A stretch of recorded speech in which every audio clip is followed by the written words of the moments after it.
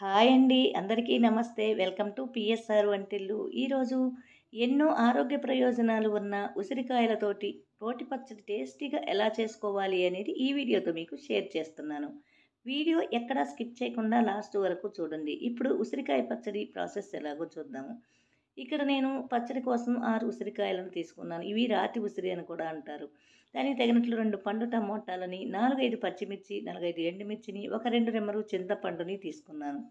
ఈ మొత్తాన్ని కడిగి చిన్న ముక్కలుగా కట్ చేసి ఉంచుకోవాలి. నేను ఆ విధంగా అన్నిటినీ ముక్కలు చేసి ఉంచాను. ఇప్పుడు స్టవ్ పైన ఒక బాణలి ఉంచి స్టవ్ ఆన్ చేసి దానిలోకి ఒక స్పూను ఆయిల్ని యాడ్ చేసుకోవాలి.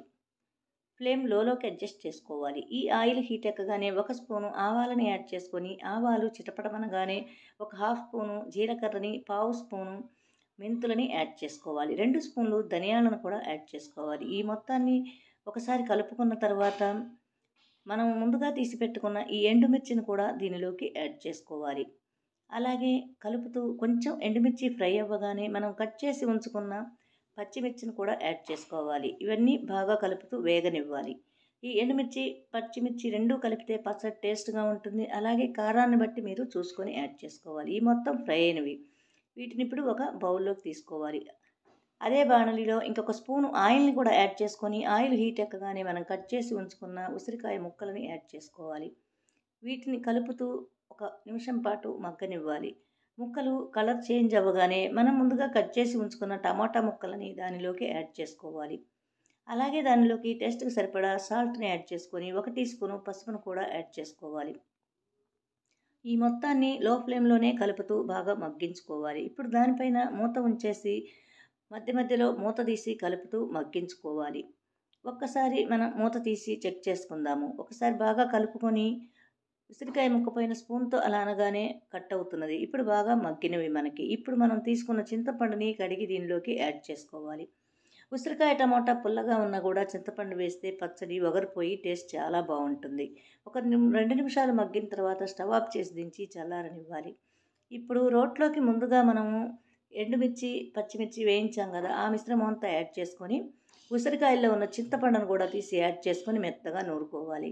మనం మిక్సీలో కూడా వేసుకోవచ్చు. రోల్ అవైలబుల్లో లేనప్పుడు.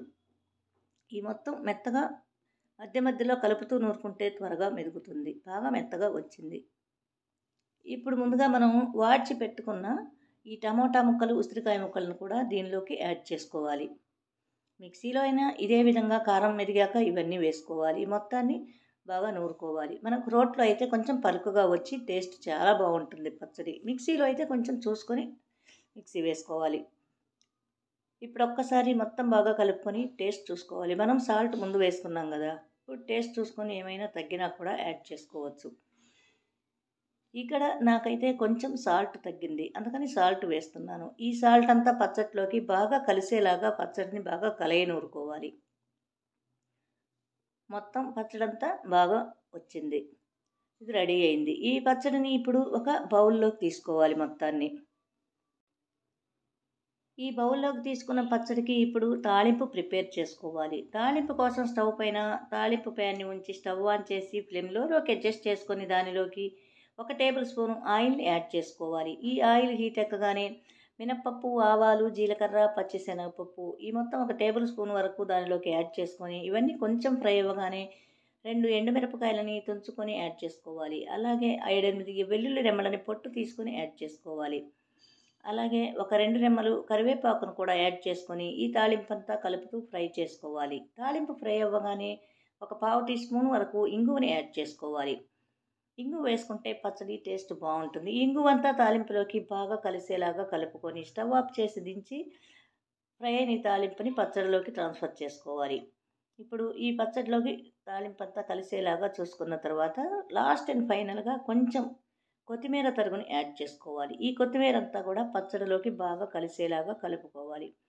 ఎంతో టేస్టీ అండ్ హెల్దీ అయిన ఉసిరికాయ టమాటా రోటి పచ్చడి రెడీ అయింది.